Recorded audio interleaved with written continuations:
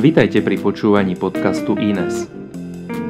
Všetky naše ďalšie podcasty si môžete vypočuť na stránke ines.sk lomitko audio. Prajeme vám príjemné počúvanie.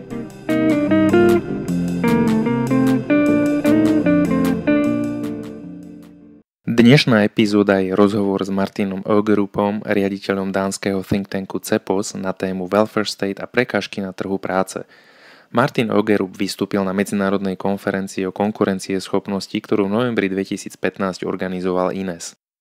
It's my pleasure to have a chance to talk to Mr. Martin Agerup, who is the president of Center for Political Studies, an independent think tank uh, based in uh, Copenhagen, Denmark, uh, who uh, was a member of experts panel at the conference on competitiveness uh, in Bratislava, November 2015.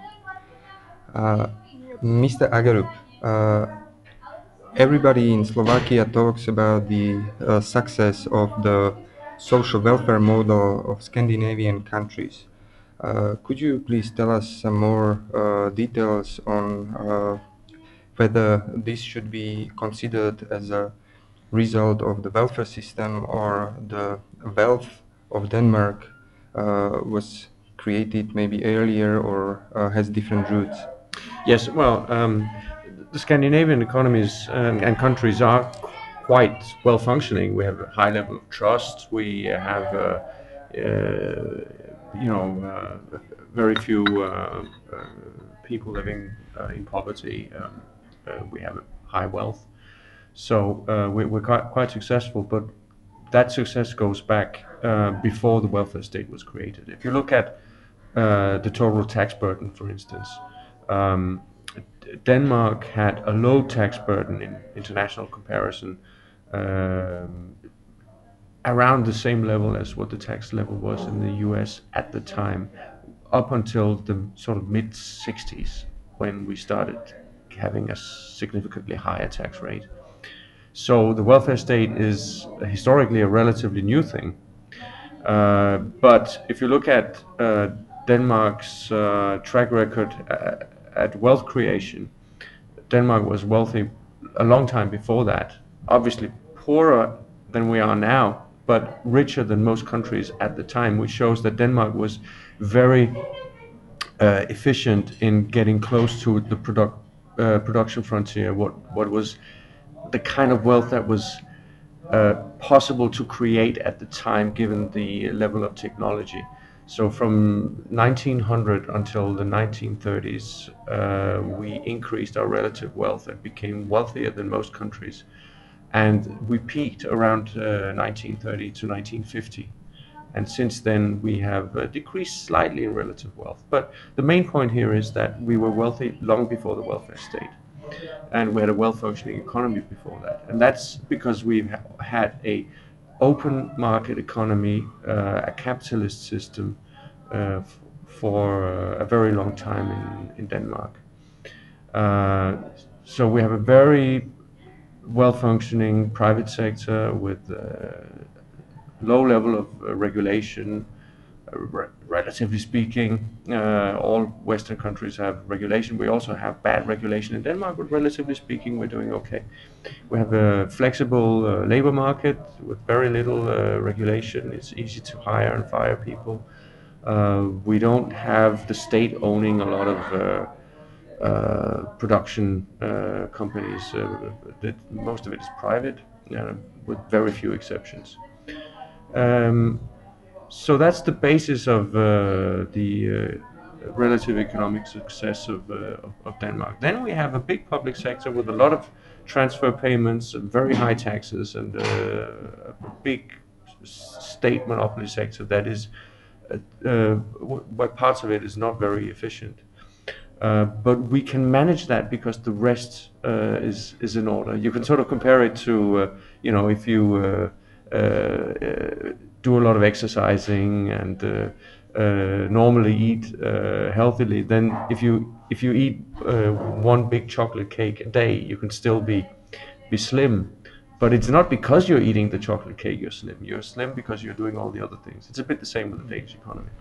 So, uh, the wealth and economic growth of Denmark uh, happens uh, despite of huge welfare state, but uh, uh, Denmark was facing uh, huge problems maybe 30 years ago.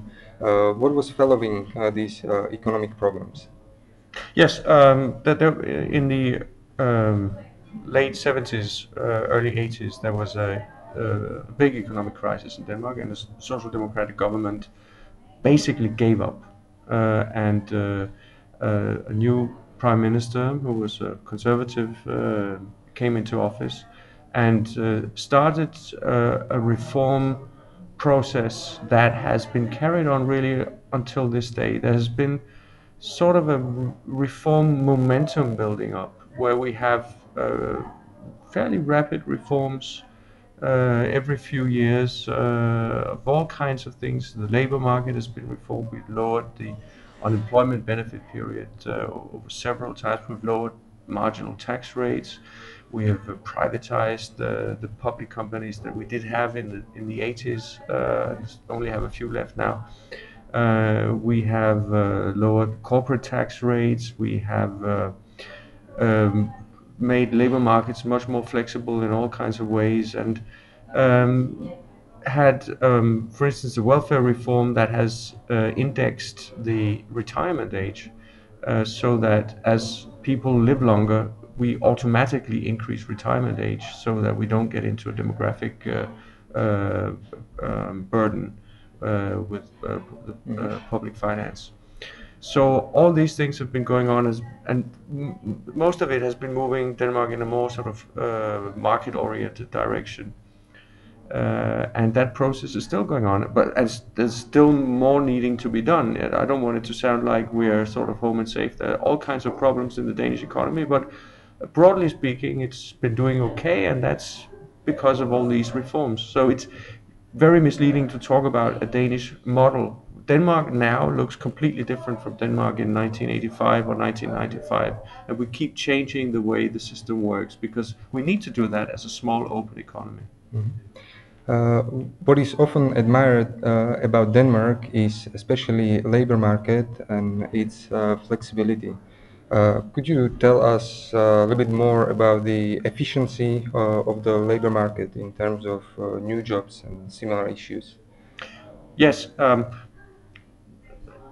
there are problems in Denmark uh, with the way the system works, but you know I think you'd find it more interesting to to hear the, the stuff that's good. So I'll, concentrate on that, but you know let the listeners know that that uh, Denmark is not some kind of uh, paradise. Uh, there are problems there too. But some of the good things about the Danish labor market uh, is that. Um, uh, it is very flexible in the sense that if you hire someone and you find out that you the market situation changes, you don't need that person anymore, or you find out that the person doesn't have the skills you thought the person had.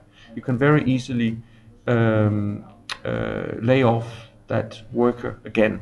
And now that may sound like a, a bad deal for workers, but in fact, uh, a few years back there was a, a, survey looking at how secure people felt in employment in Sweden. But they don't have that system. They have a protection of, of workers. You can't just fire them. Uh, and comparing Sweden to Denmark, and it turned out the Danes felt more secure than, than the Swedes.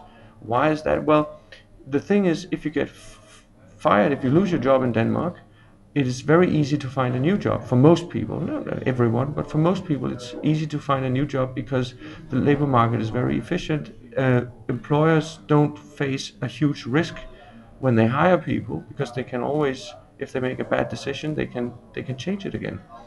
Uh, and therefore uh, we have a big churn. Uh, we have a big, um, a very large proportion of of the labor force change job every year. About we have about at least 500,000 job openings um, every year. It's about 20% of of jobs. So so 20% change job every year. Um, and that also means from an economic perspective that it's uh, quite easy for people to move on if they if they sit in a job where they have acquired skills that are uh, would make it they would be uh, able to get a, a better job that's better paid somewhere else where their skills are applied in a more efficient way, they can do that, and there's no risk involved in doing it. If they can find the employer, they can take that other job, and that means that uh, you can uh, utilize the human capital much better uh, than you would in a less flexible labor market. Also, stuff like um, working hours and you know all, all the, the, the, contracts between employees, between unions and employers are very flexible and often negotiated on a, a you know individual company basis even so that uh, you know one company has certain needs uh, and they can negotiate uh, terms with their workforce for instance some companies have a lot of uh, work that is uh, uh, seasonally, you know, depending on the season, and they can negotiate uh, with their workers that they don't get overtime pay. Instead, they work less other times of, mm-hmm. of the year. And if you don't like that as a worker, you can go work somewhere else. But if you like it, you know, it's uh, it's, it's good. Uh, and uh, everyone is, is, is happy. So so that's also an example of how you can you can um, use the, the labor uh, force in a more efficient way. So there is uh, nothing like legally based severance pay. So if you are firing someone, the employer uh, has to pay one, two, or three wages to the person that was fired. Well, yes, it, uh, you know, depending on how long you've been in the job. If you if you've been in a job for uh, a, a large number of years, you get up to six months. Uh, that's the maximum. Most mm-hmm. people, you know, if you worked for for, for, for less than than a, than, uh, than a year, it's uh, it's it's one month, and, and then it gradually increases mm-hmm. over time. Uh, but also, you don't have to have any special reason. I mean, you can just say, "Look, um, we don't fit well together," uh, which I think is you know a very good reason. It's very important to to work with, with people you uh, you are you you you you, you're fit together with. Mm-hmm. So the discussion in Europe uh, uh, these days uh, is very focused on the problem of immigration yes. and their potential uh, and ability to find a job on the job market. So, uh, how is Denmark uh, doing in employing them, and what are the barriers the immigrants face there? But now we're approaching some of the less rosy sides of the Danish uh, labor market, uh, which has to do with the way the welfare state works.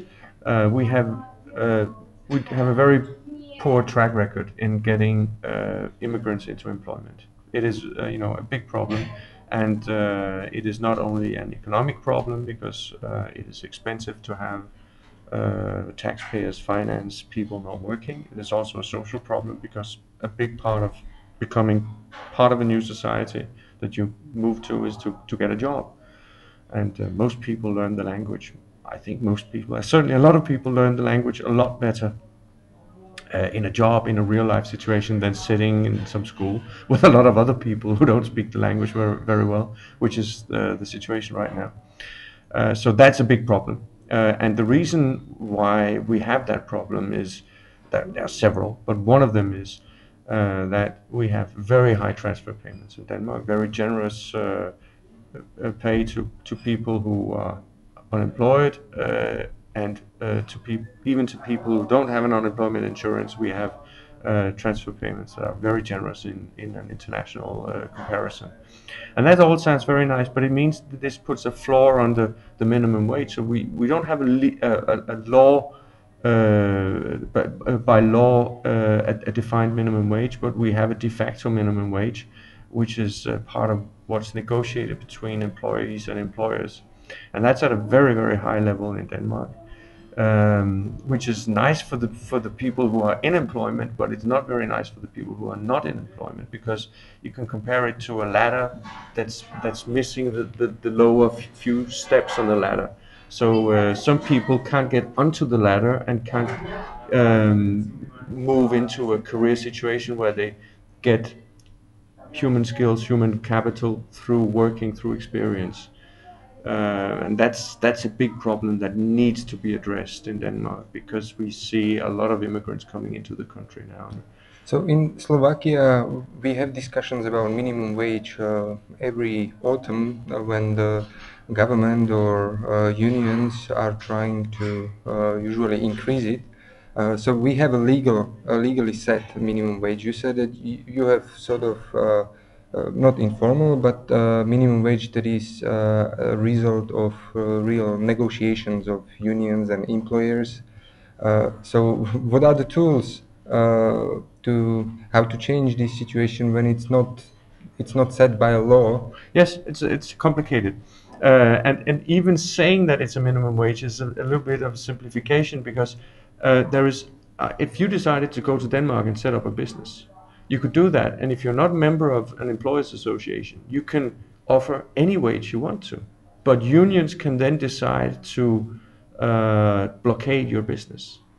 Okay, so it's it's kind of a complicated situation. They can also decide not to blockade your business. So we do have people working for very very low wages in Denmark, but it's uh, it's sort of uh, you know uh, it's it's a sort of gray area. Now. Um, for that to expand so that we can, we can get more people into employment, we basically need the unions and the employers to sit down with the government and decide uh, that uh, we need a combination of uh, several things. Uh, one is a, a, new agreement between the unions and the employers that they will accept a lower wage for a, uh, you know, for maybe three years, maybe maybe longer, that is uh, significantly below what is the current minimum wage because we have this uh, problem that we cannot integrate immigrants into the labor market. Uh, but we also need the government to uh, to um, uh, to reform some of the transfer payments that we're paying because it is not really conceivable to have uh, wages that are below transfer payments. So it's a combination of, uh, of, of, different things that need to happen at the same time. And that's always tricky uh, when you reform things. It's easier to have one reformer that makes a decision than having to have several that need to get to an agreement.